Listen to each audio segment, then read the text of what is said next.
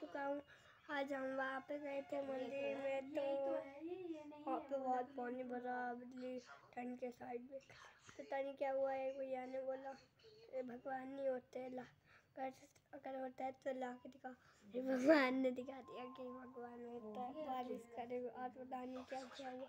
गाड़ी के ऊपर टेंट गिरा फिर हमारे फिर ये लोग वो देख रहे हैं मूवी और पता नहीं कौन हैं अभी पूछता हूँ भाई इंडिया कौन सी मूवी देख रहे the Kerala story the story देख रहा है। तो बाय